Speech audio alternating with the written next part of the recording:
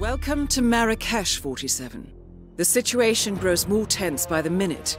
The consulate is under lockdown, but the protests are only a stone throw away from full-blown riots, and Zaydan won't hesitate to unleash his troops.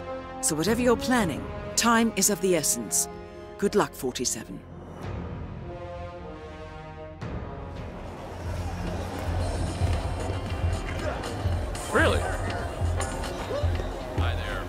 Yeah, I, I just wanted to get some plate for my elders. How's your father? Doing well. Thanks for asking. He's upstairs right now working on this novel of his, some kind of political thriller, I think. You know, airport lit. Oh, that's nice.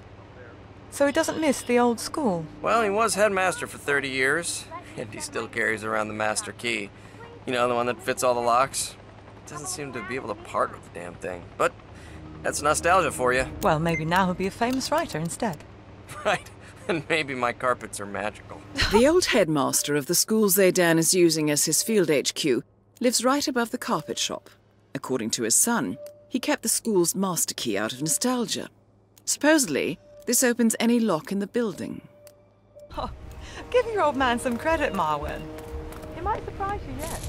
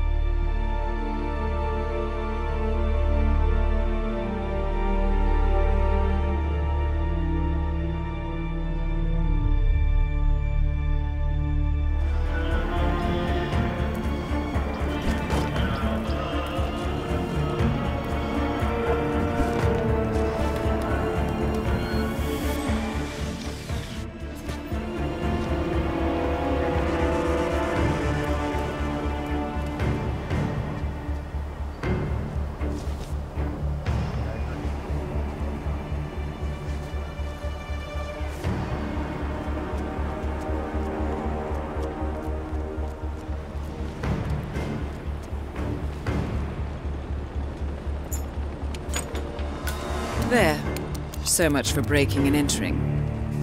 You're in. Good work, 47. Now to locate General Zaydan.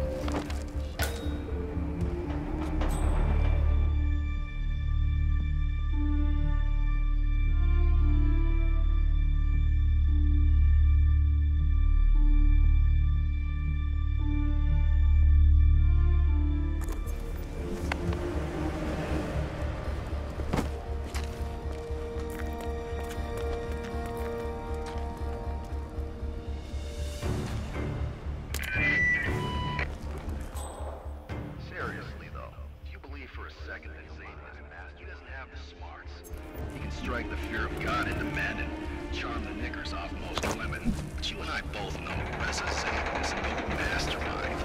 You're not wrong, that's for sure.